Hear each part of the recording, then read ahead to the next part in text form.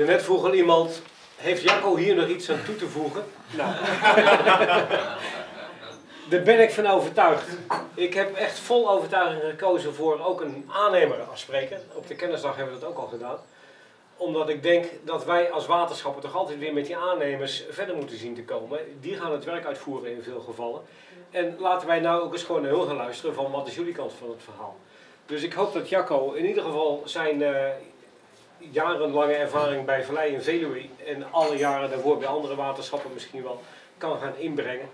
Dus uh, misschien hoor je hetzelfde, maar het is wel vanuit de praktische invalshoek hoe het in de praktijk werkt of juist niet werkt. Dus uh, laten we daar dan uh, de aandacht aan geven. Jacco, en Dankjewel.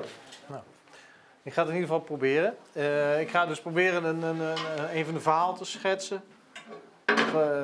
De ervaringen, mijn ervaringen voor Vaarkamp, waar ik al bijna 20 jaar voor werk. Hoe wij dus de, de dijk, de Grebbedijk, tussen Wageningen en Renen, de afgelopen jaren in een bestek hebben mogen onderhouden. Ik zal me eigenlijk even voorstellen, Jacco Himming dus. Ik ben projectleider bij, bij Vaarkamp.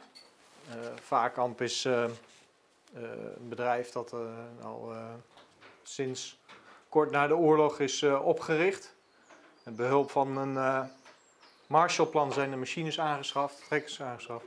Men is begonnen in de landbouw en langzaam overgegaan naar stedelijk beheer, bos, bosbouw, uh, buiteninrichting, zandwegen, zandwegen, zandwegen rond in bosgebieden, heiden en dat soort dingen. Dat, dat, was de basis van de gebroeders Vaarkamp. Dus opgericht in 1946, trekkers en ploeg gekocht met behulp van een Marshallplan.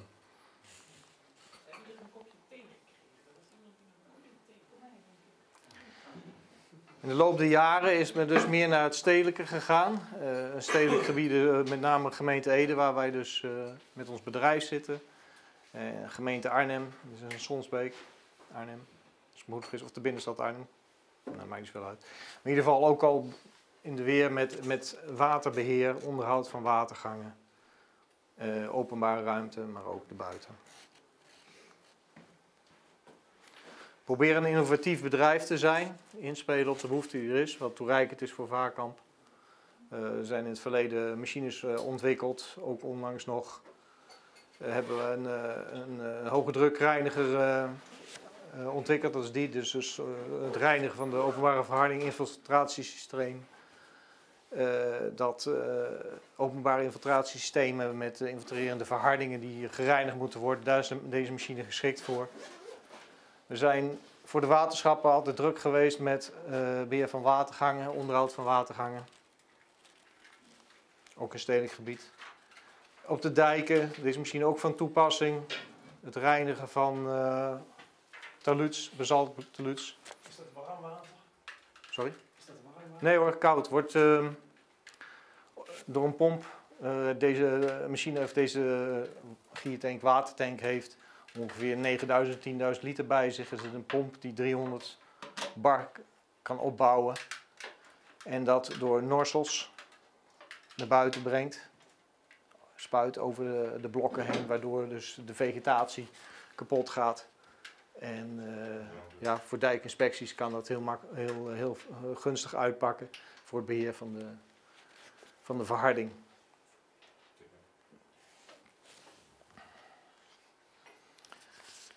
Nou, zoals ik al zei, tot en met 2019 nog steeds uh, heel actief op uh, beheer met, of de beheer, de inrichting van de openbare ruimte. We, hebben, we zijn niet alleen natuurlijk druk op voor de, voor de waterschappen. We werken wel veel voor waterschap uh, Vallei Veluwe, onder andere waterschap Rivierenland, waterschap Rijn en IJssel. En er komen steeds meer opdrachtgevers bij.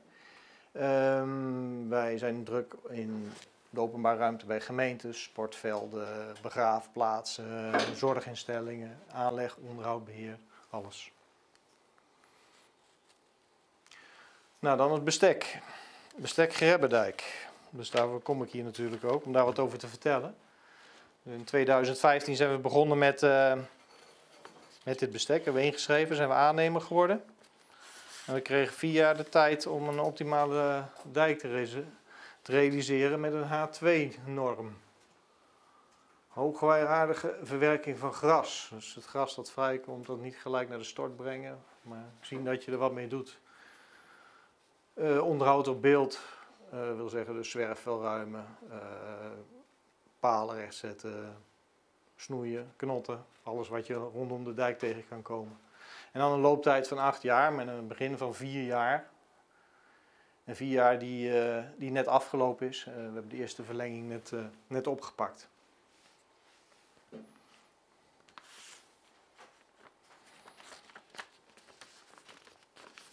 Dit waren de mogelijke vegetatietypes bij, bij aanvang. Nou, dit uh, liet Cyril net ook al zien, dat is wel bekend. Uh, er waren veel weidemengsels. Of kamgras soms, soortrijke kamgrasweiden waren redelijk goed. er was veel, veel grasland. het was helemaal geen beroerde dijk, het zag netjes uit. veel kruiden, redelijk. we hebben te maken gehad bij aanvang met een, een noordzijde van de dijk. De dijk ligt van, zeg ik goed, oost naar west, Oost-Wageningen naar west, de Grebbeberg. En met name die, uh, die noordzijde, daar zit heel veel mos in. Nou, dat is wel bekend bij jullie natuurlijk. Maar op zich geen slechte dijk, geen slechte zoden. Uh, we hebben hem uh, wel eens uh, losgemaakt, een, een proefsleufje gegraven en de doorworteling is eigenlijk prima. Dat is, ja, daar kun je wat van vinden. er groeien wat minder kruiden op, maar op zich was die niet slecht. Destijds liepen er veel schapen op. had niet onze voorkeur, maar ja, goed, er waren meerdere gebruikers. En die zijn in de loop van de jaren ook op ons verzoek allemaal van die dijk afgegaan. Uh, waar we tegenaan liepen waren natuurlijk veel schapenpaadjes en we konden niet uh, de controle houden over die dijk. We konden hem niet beheersen omdat er meerdere gebruikers waren. Dus in overleg met het waterschap zijn toen de, de schapen en de afrasteringen verwijderd. En dat heeft nog wel wat tijd in beslag genomen, maar na twee jaar, 2016, loop 2016, waren we de, meeste gebruikers van die dijk af en konden we dus echt aan de slag om te streven naar de norm H2.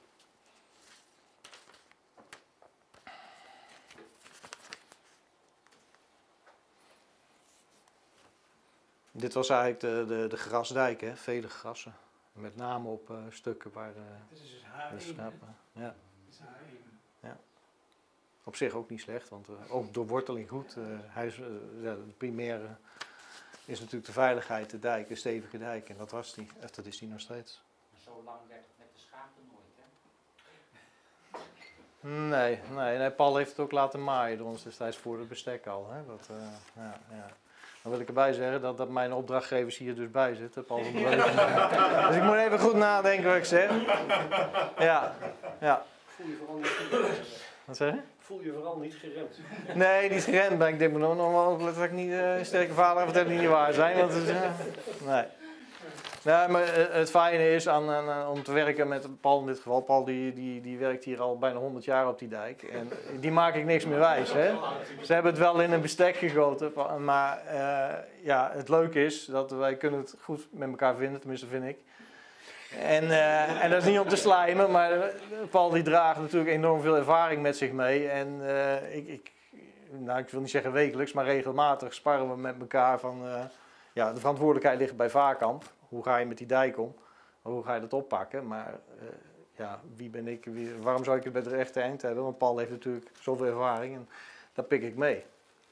En ja, dat gaat prima. Of, tenminste van mijn kant. en ik denk van Paul kant ook nog wel. Ja,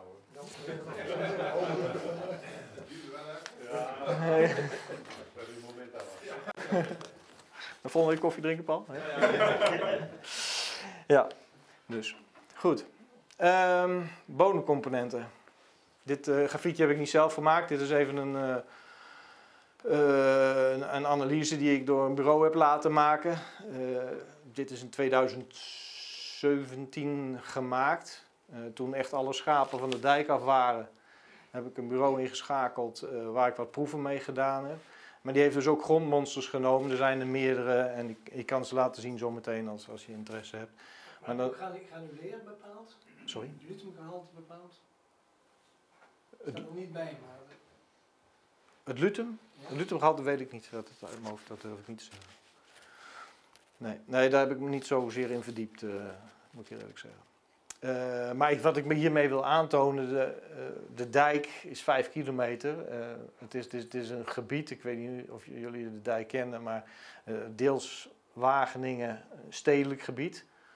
Neigt meer naar een park, hè, waar mensen recreëren. En je hebt een deel landelijk gebied dat nou, meer richting de Grebbendijk staat, wat eh eh, Grebbeberg eh, gaat. En ja goed, daar, zit landbouw naast, er zitten uitwaarden naast, er is van alles. Dus in die vijf kilometer heel veel diversiteit. Maar goed, dit laat zien, dit zijn de dijkpaalnummers dan. wat de verschillen de- zijn tussen de honderden meters die er tussen de palen ligt. Eh, dus eh, eh, organisch stofgehalte, daar zei je net wat over, Cyril. Hè? Best, best hoog, ja. Ik zag het. Ja. Zou dat dan door die schapen komen? Ja, toch door, door een mate van bemesting denk ik ook hoor. Dat het verleden bemest is en dat dat nog het effect is. Nou, ik geloof niet dat er veel mest opgekomen is door boeren, of wel Paul? Nou, in het verleden is dat wel eens gebeurd. Ja, maar praten we over meer dan tien jaar geleden? Ja, Of? ja. Oh, ja. Dus ja, dat, dat zou wel, wel kunnen. En stikstof? Ja. Goed, maar in ieder geval grote verschillen op een, eh, relatief klein eh, gebied. Nou, hooilandbeheer eh, hebben we dus, heb ik me dus afgevraagd, is het de juiste aanpak? We zijn het eerste jaar begonnen met, met maaien. Nee, dat zeg ik eigenlijk verkeerd. Dus toen de schapen weg. Het eerste jaar was eigenlijk een beetje verloren, hè, Peter? Want Peter is natuurlijk ook weer oppassen wat ik zeg. Eh, de schapen waren eraf. We hebben toen, eh, moet ik me niet vergis, hebben we toen eh, veelal al gelijk hooilandbeheer toegepast. Wat dus opviel, wat, wat Cyril net ook al zei, de maaidekken liggen vol met zaad. Hè, en terwijl er al zoveel gras is. Dus er was ook een beetje van, ja, moeten we hiermee doorgaan? Je hebt meerdere werkgangen, spreiding van veel zaad, maar ook heel veel graszaad. Dus dat, dat gaat maar door. Dat zie je nou ook eh, nog steeds op de dijk. Veel gras, dichte, dichte grasmat. Maar al die eh, rijbewegingen, dus het maaien, het schudden, het verzamelen, drie keer schudden, verzamelen op dijken, de pest eroverheen. Ja. Gezellig met z'n allen. Eh, wat ik eigenlijk op school vroeger al geleerd heb, eh, probeer die bodem niet te veel te belasten. Zuurstof in de bodem, ontzettend belangrijk. En dan ga je daar met z'n allen, machines er maar overheen kuieren. En dan zie je natuurlijk ook in een, in een zomerperiode, een langere periode, dat die, mat veel langer geel blijft en niet zo snel zich herstelt. Ehm, het, het idee erachter was goed. Het, het hooi is allemaal geschonken aan een zorgboerderij. Eh, en die kwamen dan met z'n allen ook helpen. Maar ik ben er eigenlijk een beetje van overtuigd dat, met name, of je dat goed kan zien, al dat graszaad, is dat duidelijk zichtbaar of niet? Ja. Nou, bedden van graszaad liggen er, eh, ligt er, eh, ligt er tussen de pollen. Of dat, wel, of dat wel is wat we willen. Want we willen die kruiden en die bloemrijke dijk creëren. Krijg je ook niet veel uh, muizenoverlast en dergelijke? We hebben wel een periode gehad, maar dat had ook met hoog water te maken, dat de muizen meer naar de Ja. dijk kwamen.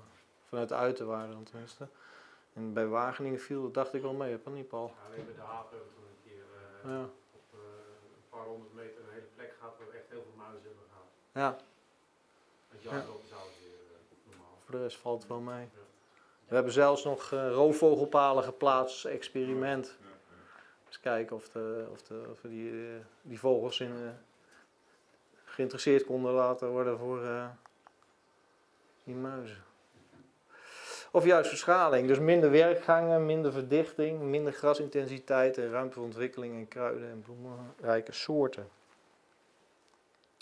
En daar zijn we dus, naar mijn idee, redelijk in geslaagd geraakt.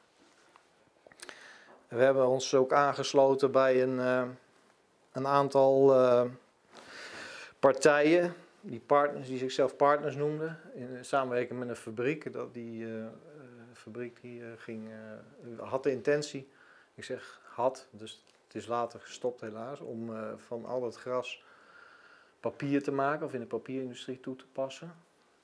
Dat is helaas niet doorgegaan uiteindelijk, maar we zijn er toen wel mee gestart. We hebben, doorgegaan tot niet ging? Omdat nou de fabriek die, eh, de toenmalige eigenaar, eh, die eh, vond dat, dat hij wilde, in, of die wilde inspelen op de marktwerking van papier en recyclepapier. De Azië was papiertekort. Briefpapier is niet zo zeer het oplo- eh, het probleem, maar de kartonindustrie, de pakketdiensten. Dus er moet papier komen voor de doosjes. Hè. Alle mensen doen tegenwoordig digitaal alles inkopen. En dat wordt allemaal netjes afgeleverd in doosjes. Al, al, koop je een nieuw eh, badzeepje, dan wordt dat nog in een kartonnen doosje aangeleverd.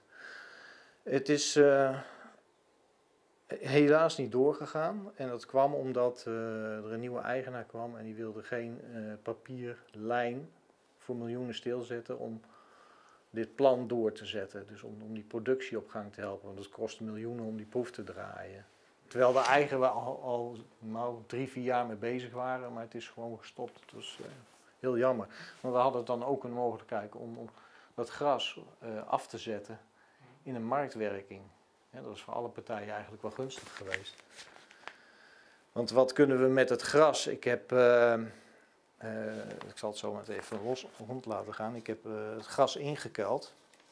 Nou, daar kom ik trouwens zo meteen nog op. Maar eh, laten we eerst even hiermee verder gaan. Voor ruimte voor ontwikkeling in kruiden en bloemrijke dijken. Dus. Bloemrijke soorten. Ben gaan verschralen. Dit is trouwens niet gefotoshopt, dus echt waar. Ja. Nee, nee, echt niet. Nee, dit, dit, dit, dit gebeurt meer. eh, ja, mensen die hebben dus, eh, nemen zo'n schildpadje als ze klein zijn, dan worden ze toch op een of andere manier groter. En dan, ja, dan zetten ze maar in de natuur. En dan Dat is overleven hè, tegenwoordig. ja, ze overleven. Er zitten hier uiterwaarden en hele mooie gebieden waar ze eigenlijk prima kunnen leven. Maar ze moeten niet die dijk opkomen. Maar goed, die hadden we op tijd gesignaleerd, dus heeft het overleefd. Ik ben toen dus meer doorgegaan met, met, met verschralen. Dus die maai-zuigcombinatie, waar wel wat er om te doen is. Want we zuigen natuurlijk die, die, die kruiden allemaal op. Eh, die zaden zuigen we op. En dat gaat eh, de kuil in of dat gaat ergens anders heen, naar de stort.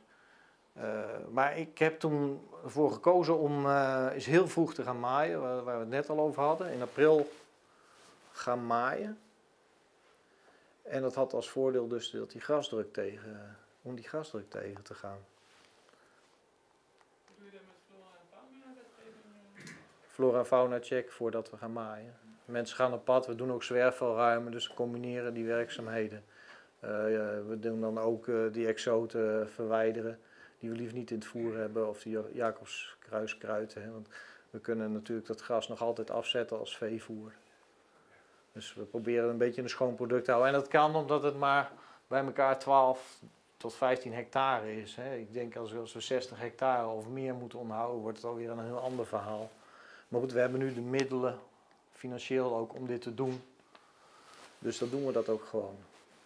Het is ook een leerproces. Hè? Ook gebruik van de maai-zuig combinatie.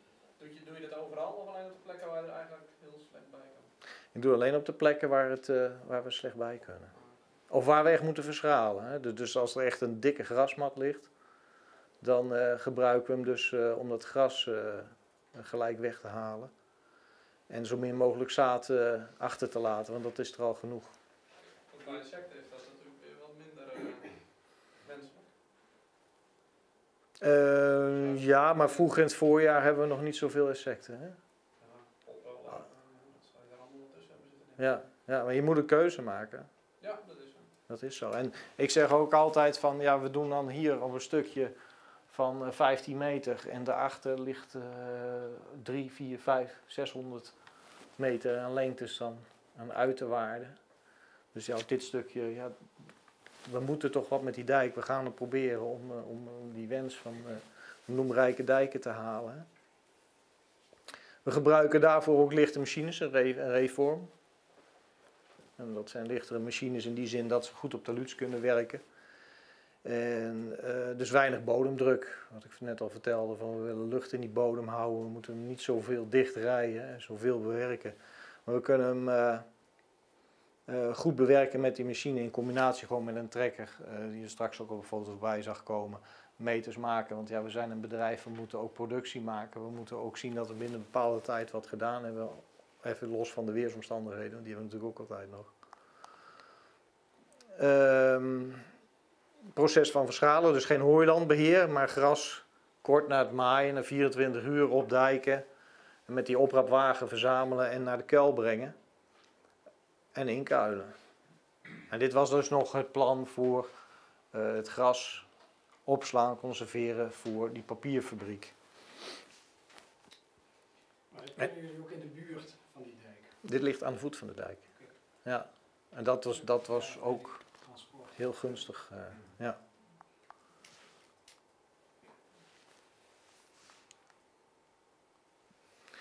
Dus het stimuleren en ontwikkeling van kruiden en bloemrijke dijken is dus goed bevallen. We zijn dus vroeg gaan maaien. We hebben het plan gehad, een planning gemaakt. Wanneer gaan we maaien? Twee, max drie keer. Uh, we zijn in 2018 erachter gekomen, toen we een stap verder waren, dat we een warme droge zomer hadden. We zaten met een, een, een vroeg vochtig voorjaar wat gunstig uitviel. En toen kregen we die droge zomer. Ik dus inderdaad met Paul overlegd van niet maaien. We wachten nog even, maar we moesten lang wachten. Heeft eigenlijk wel goed uitgepakt. Want we hebben die dijk een, een beschermlaagje gegeven met een goede grasmat.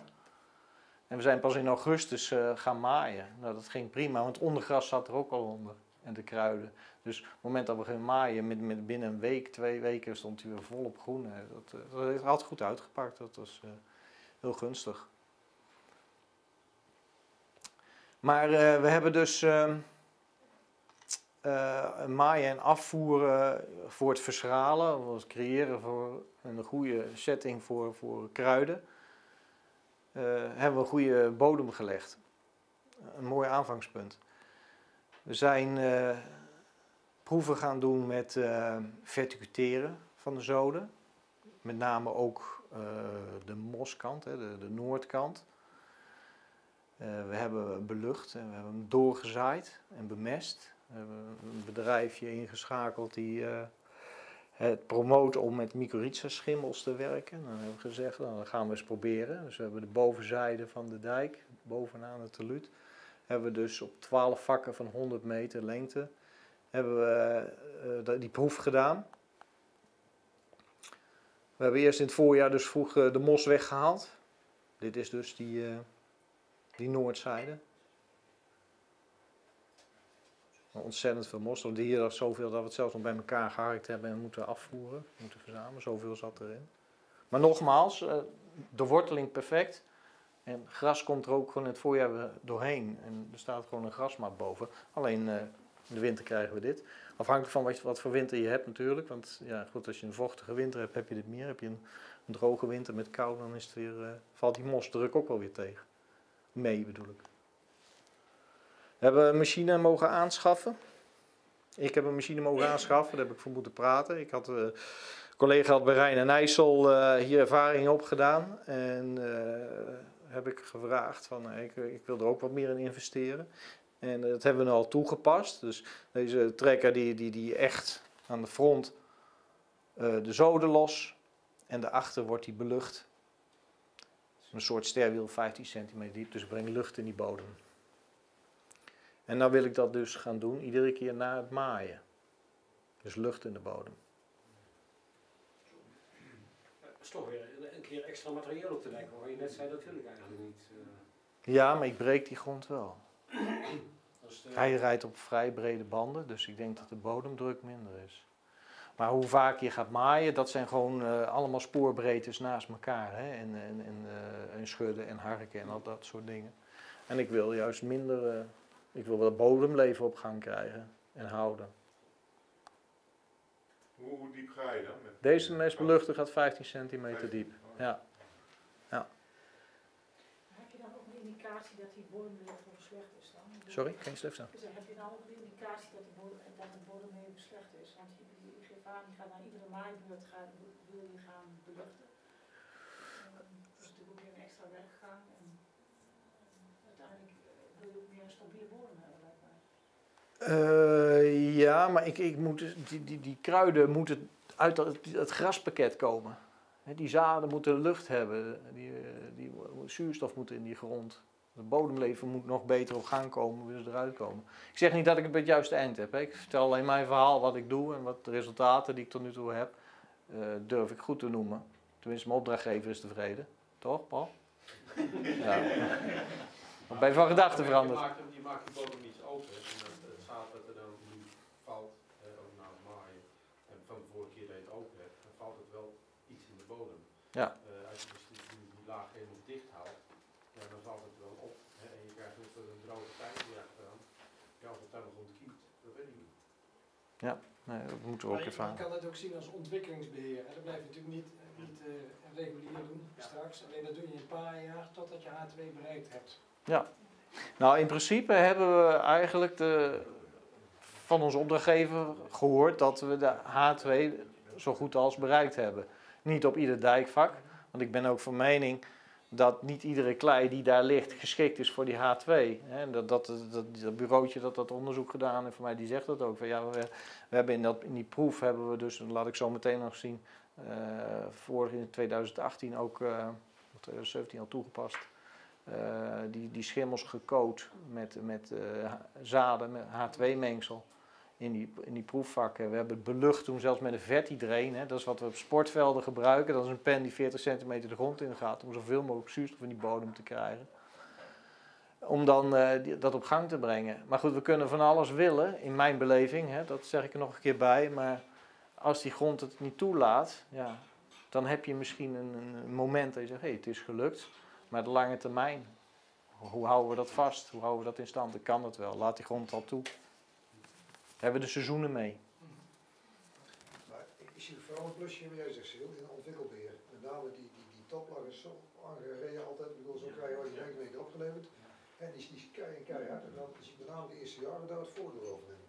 Tenminste, ik, ik, ik, jij kunt het mij ook in ieder geval. Met name alleen die, die nieuwe dijken weer op, zeg maar. Ja, Om te kijken van, maar meteen naar aanleg, hè, dan, je D1 of D2, en dat zit ook zo diep hè, met die wortels. Ja. 2, 3 centimeter diep, en daarna is het een hele vaste grond. Dat is natuurlijk de plant ook heel moeilijk om daar in te komen. Dus dat bodemleven, die pieren en dergelijke, moeten die bodem losmaken. Ja, deze heeft dus, die dijk is ooit verbeterd, dat weten jullie waarschijnlijk nog wel, in 97.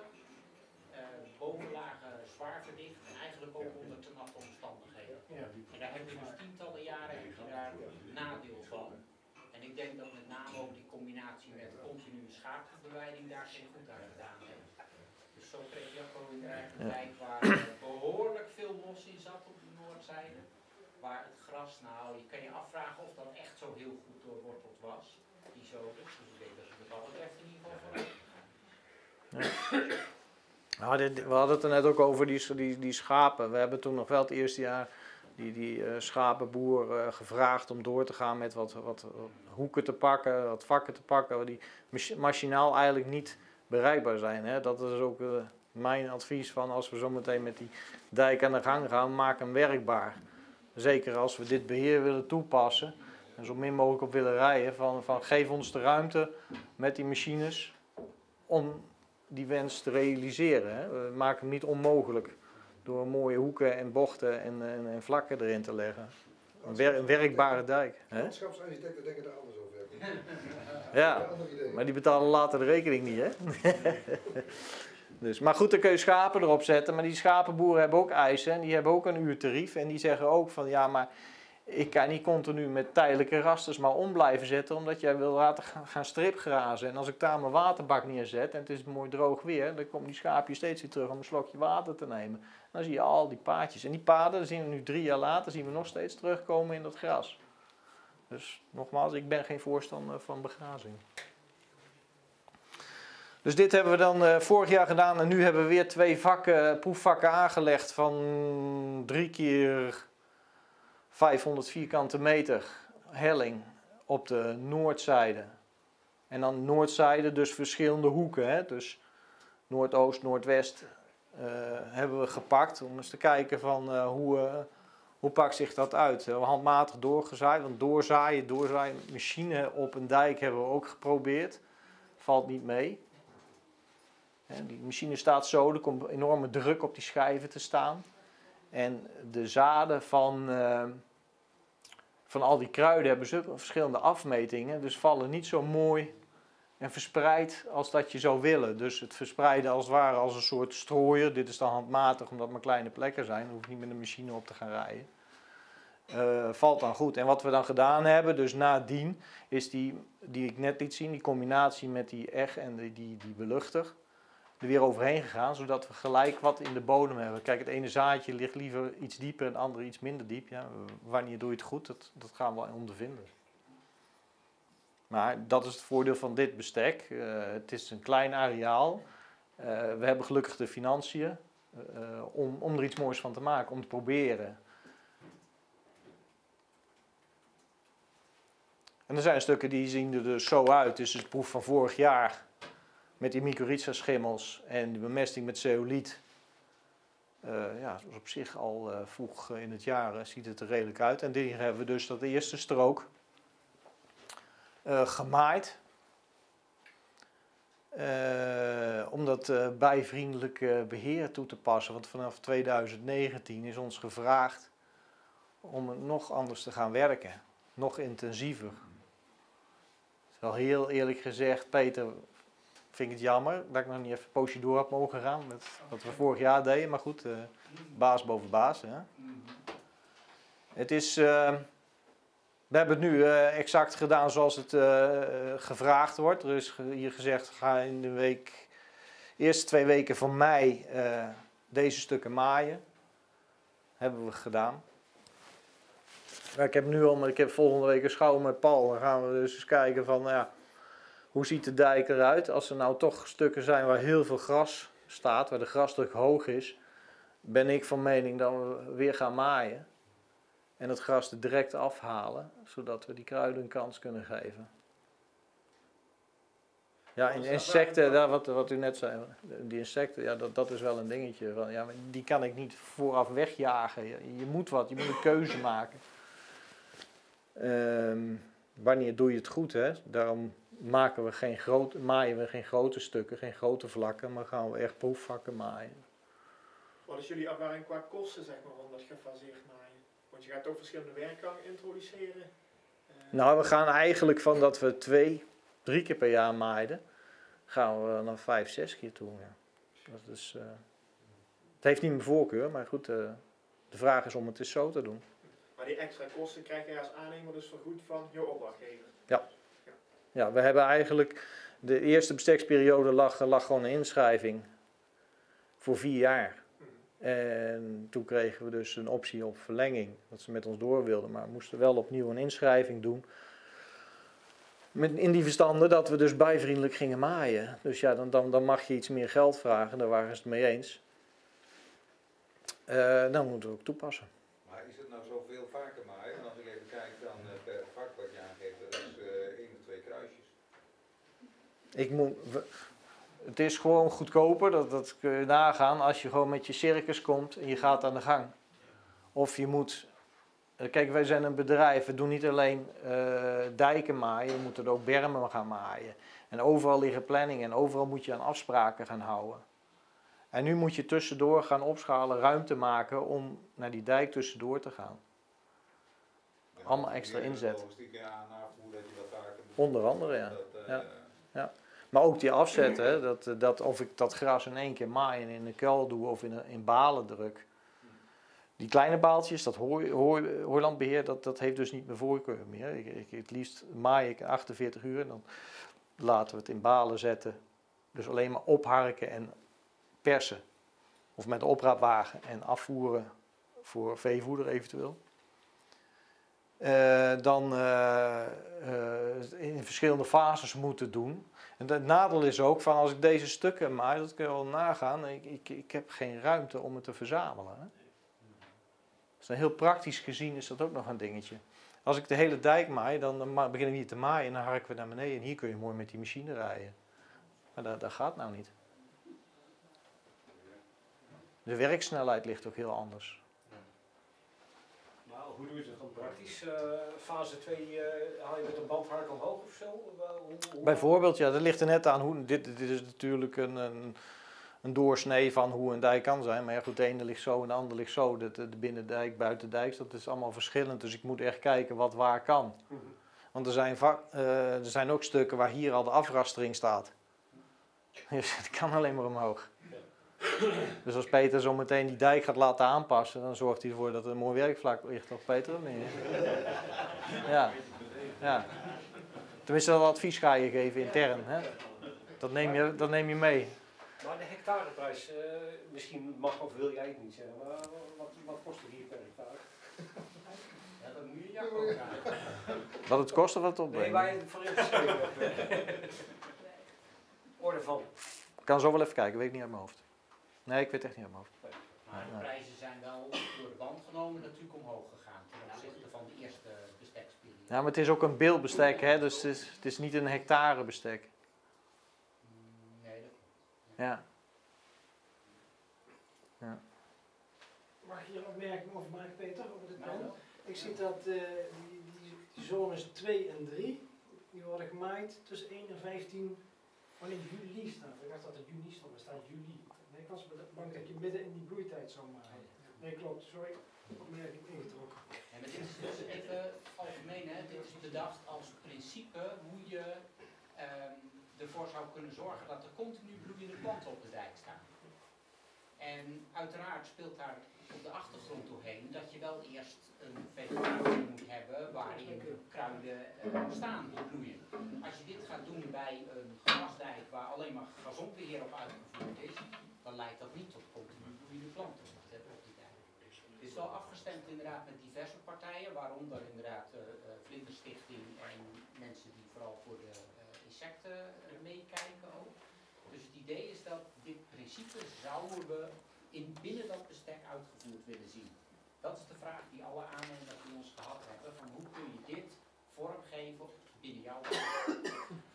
En daar gaan we de ervaringen van in de komende Maar je hebt dat gewoon over de hele lengte uitgezet, niet, een aantal... eh, Ja, we hebben alleen niet gezegd, je moet dit overal 100% doen. Want er zijn omstandigheden, kun je bedenken, dat eh we krijgen een uitbraak van rittersmuren op een bepaalde plek.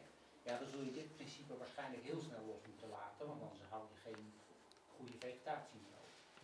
Dus de spanning zit erop. We hebben in eerste instantie bestek uitgevraagd aan onder andere Jacco. We willen dat overal een H2 realiseert als minimale eis. En die eis kwam deels generiek. Het is een generieke eis, om het zo te zeggen. Nog niet helemaal in detail. Op de ene plek hebben we een andere vegetatie nodig als een andere. Dat zit er op termijn nog aan te komen. Ehm, maar in principe H2 als gewenste vegetatie. En eh, dat was de eerste uitvraag. Naast een aantal MV-criteria op dat duurzaamheid. Hoe pas je je maaisel duurzaam toe? Eh, daar hebben we vier jaar ervaring mee opgedaan met z'n allen. En toen hebben we binnen dat bestek aan de voorkant gezegd, we doen de eerste looptijd vier jaar en daarna de kans om twee keer twee jaar te verlengen. Bij welbevinden van beide kanten. Eh, dus inderdaad, Jacco de vraag gesteld, eh, wij willen verlengen, wil jij dat ook? Maar we hebben wel eigenlijk een aanvulling. En daar kwam dus eigenlijk de vraag uit voort, een inschrijving te doen voor met name dit, deze verandering. Doorvoeren van continu bloeiende land op de dijk. En dat is best spannend, toch? Ja. Ja. Nou, dat betekent ook nog wel dat je dus nu in het seizoen, eh, kijk, dit, dit kan op papier heel mooi kloppen, maar eh, in de praktijk buiten zometeen, eh, als wij volgende week weer de dijk op gaan, dan moeten we misschien toch soms nog even weer wat anders beslissen. Ja, hè, om misschien toch een beter effect te kunnen Dat is maken. maatwerk, hè? Ja, dat dit is, blijft maatwerk. dit is een principeplaatje, hè Jacco? Dat Dit is een principeplaatje, zeker. En dat is wat Paul ook zegt. Ja, maar als het verkeerd gaat, dan verwijs ik hier naar. Ja, maar dit is wat Paul ook zegt. Wij gaan samen de dijk. Ik ga niet alleen. Ik mag zo in principe wel alleen mogen beslissen en zeggen: Paul, ik ga dat doen, punt. Maar ik vind het veel belangrijker dat we samen met elkaar eens gaan. In ieder geval de discussie aangaan. Van, eh, en eh zitten we misschien wel eens niet allemaal, altijd op dezelfde golflengte, maar in grote lijnen wel. Van eh, wat gaan we doen. Maar het, is mooi om op de plekken te kijken en te sparen van, van eh, hoe pakken we dit aan. En dat vind ik het voordeel van dit bestek, de, de ruimte, de vrijheid die, die we als aannemer gekregen hebben om dat te doen.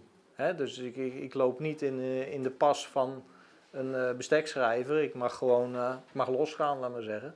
En zorgen dat ik die realiteit eh, onder ogen zie en dat ik de, de, de behoeften, de wensen behaal van, van de opdrachtgever. Kijk, wat anders dan, dan stappen ze er wel tussenin en dan zeggen ze, ho even vriend, van, nou, eh, nou doe je wel gekke dingen, nou moet je even wachten. Maar dat is, dat is niet nodig, moet ook niet nodig zijn. eh.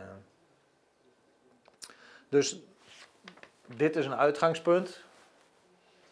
En eh, we interpreteren gewoon dat in, in het seizoen. Want we hebben het nu over eh taluten en hoe de vorm, het model en wat staat er. Maar goed, we hebben uiteraard ook nog met ons klimaatje te maken, met de seizoenen die er zijn. En ik kan van alles willen, maar als we nu dus eh, tegenovergesteld van vorig jaar hebben, dus een heel droge periode wat al begonnen is. En dat we dat in juli in één keer een hele natte periode krijgen, ja, dan kan het ook zo zijn als drie jaar geleden dat we er mooi gras hadden staan. En we kregen een natte periode en dat ging plat liggen. Ja, dat, dan heb je helemaal rommel, dat wil je ook niet. Dus de, de, de, alles eronder verstikt. En dat is ook niet de bedoeling. Dus anticiperen op het jaar, op de situatie. En dat is eigenlijk kan wel een planning klaarleggen voor het waterschap. En zeggen, nou jongens, dit gaan we doen. Dus jullie ecologen kijken, kom maar, hier is onze planning. Maar ja, wat ga je uitleggen als je het anders doet? Dus je kunt beter zeggen van, we hebben geen planning. We gaan glo- globaal uit van een eh, idee van, in deze, bijvoorbeeld omdat dit een handreiking is van een uitgangspunt. Nou, dit, gaan we, dit, dit streven we na. En we houden jullie op de hoogte van onze plannen. Als je mee wil kijken, prima. Want in Wageningen zijn er genoeg mensen die interesse hebben. Wat dat betreft liggen we wel eh, in het vizier. Ja. Nou, dit zijn op zich al mooie plaatjes, denk ik. Vind ik, voor eh, de vraag die er ligt. We hebben hieronder een strook gemaaid, vlak. Ook een pilot van een bedrijf dat eh, van gras, eh, van de vezels, moet ik even goed zeggen, de, eh, van de vezels zijn ze eh, ehm, producten aan het maken, van de eiwitten, ze, ze, ze- Grassa heet het bedrijf, ja. Ze zijn een machine aan het ontwikkelen, daar zijn ze al jaren mee bezig, dat ze gras volledig ontleden en overal nieuwe producten van maken. Dus het is gewoon een grondstof geworden, het gras. Ik heb ook een document bij me. Daar is Rijkswaterstaat druk mee bezig geweest dat eh, het gras dat vrijkomt geen afvalproduct meer is, maar als grondstof gezien mag worden en verwerkt mag worden en vervoerd mag worden, opgeslagen mag worden. Dus we hebben er een stukje vlak gemaaid. eh, ja, volgens mij was dat eh, begin april, tweede week april. Eh, dit hebben we onlangs gedaan. Dat is dus het, eh, het standpunt van een eh, bijenlint zometeen creëren, gefaseerd maaien. Dit is blijven staan. Hier ligt trouwens ook nog een stuk proef van eh, 2017. Eh, ik ben heel benieuwd hoe dat er in de loop van het jaar uit gaat zien. Maar dit is dus helemaal behandeld, gemaaid, geëcht, belucht. Dus laat maar komen, we gaan het zien. Dit toont nog even aan in wat voor gebied we zitten. Hè? Dus hier kun je dus niet met je opraapwagen langs. Dat gaat niet. Dus je moet ook weer inspelen op de situatie. En als je dit laat gaan, dan staat het helemaal vol met koolzaad. Toch, Paul? Was toch, eh, ja. Ja. Maar later ook weer andere kruiden. Veel bloemen. Dit is vorig jaar, nee, dit jaar eh, gemonitord door het bedrijf dat ik eh, ingehuurd had. Wat we allemaal tegenkwamen. Eh, kun je zien in, eh, op, of tenminste dit overzicht kunnen jullie ook in- inzien als je dat wil. Eh, dat eh, eh, met een telling is er toch eh, ja, een toename geweest in, in de H2. Dat het eh, redelijk goed uitpakt. De worteling. Zowel binnen als buitendijks. eh, een toename van de worteling, ook de diepte. Ik weet niet, 23 centimeter, dat is eh, wel mooi denk ik, of niet zo? Ik kan een heel eind dieper. Ja, maar dat is een gemiddelde. Hè? Ja. De worteling is de diepte. Ja. Moeilijk. Om, dat te bepalen lijkt me moeilijk. Dus je maakt gewoon, je neemt een steek uit het profiel en je gaat kijken waar het ophoudt. Ja. Ja. Ja. Als je toch die hogere gras hebt, dan eh, zit je het gauw 30, 40, 50 centimeter. Afhankelijk van de grondsoort. Hè. Als, je, als je zware grond hebt, dan zullen ze minder diep zitten. Ja, dat is wel stevige klei hoor. Die toplaag die zo verdiend Ja. geweest is. Ja. Ja. Dus de beworteling. eh, dit, dit was een interpretatie van, eh, van die partij. De vegetatie was divers. Ook al zijn de grassen nog steeds het meest aanwezig. Vegetatie in 2019 was meer soortenrijk dan in 2017. Nou ja, daar hebben we ook ons best voor gedaan. Het scheelt ook dus dat de schaapjes weg zijn. En de rasters weg zijn, dus dat we de ruimte hebben om te werken. Eh, de soorten van mindersoorten Hooiland H2 werden gevonden, met uitzondering van Mediaco, zoals met Medicaco. Die, die groeit met name in de kuststreek. Oké, Ja, niet hier. niet hier, ja. Kan die hier wel groeien? Als je hem inbrengt, kan die, kan die zich. Handhaaft die zich ook op lange termijn? Ja. Ja. Andere wel, ja. Ik denk in Latijn. Dus de meerderheid van de soorten, dat heeft zich wel een beetje gevestigd. En de gemiddelde wortellengte was eh, dus eh, begin 2017, toen we de eerste metingen deden, 15 centimeter. En dat is eh, gelukkig al toegenomen. Of dat daadwerkelijk door die mycorrhiza schimmels komt, dat, dat, dat hoop ik. Maar dat, nou, nogmaals, we hebben het tweede jaar, nu hebben we het net toegepast. Dus ik wil dat voor meerdere jaren ja, eigenlijk eh, weten. Hè? Want eh, we gaan niet zomaar in één keer een paar ton schimmels in de grond eh, stoppen. Maar die, maar die monitoring ligt die helemaal bij jullie? Of ook? Nee, ik heb eerst dit bedrijf het zelf laten doen. Hè, de BioMy Green heet dat. We hebben hele goede ervaring met hun met bomen. Met die schimmels bij boomwortels toevoegen. Eh, dus daarom dachten we, nou laten we dat ook eens bij de grassen doen. Kijken hoe, hoe zich dat, dat samenpakt en hoe dat uitwerkt. Eh, we hebben afgesproken dus dat zij dus vorig jaar dus die proef gedaan hebben. Nu weer die proef op die drie dijkvlakken aan noordzijde. En nu heb ik Ad Schoutens gevraagd, die kennen jullie waarschijnlijk ook wel, om dus nu eh, de hele dijk voor ons te gaan monitoren en de, de cijfertjes te laten zien, zijn waarnemingen te presenteren. Dus dat, dat er wel verschillende visies komen zometeen. eh, dat, want hier zit natuurlijk ook een stukje winstbelang achter, daar ga ik vanuit. Nou zijn de bloemrijke soorten dijken haalbaar, tenminste de Grebbendijk. Mijn ervaring is nu van, ja, ik ben van zoveel factoren afhan- afhankelijk. Uh, ik wil en ik hoop uh, die acht jaar in ieder geval vol te maken. Uh, in mijn beleving, wat je net ook al zei, van kijk eens over tien jaar, hoe sta je er dan voor? Wat heeft het uiteindelijk tot stand gebracht? Alles wat je bedacht hebt. Is het haalbaar? Laat de grondsoorten toe, laat de seizoenen toe, laat klimaat toe. Uh, wat, wat gewoon ontzettend belangrijk is, in mijn geval, en zijn aannemers die zullen er misschien net zo over denken, de, dat je de tijd uh, als aannemer, de ruimte krijgt, de financiën hebt om dit te doen. En ja, blijven anticiperen. Dat uh, was mijn presentatie. Dank.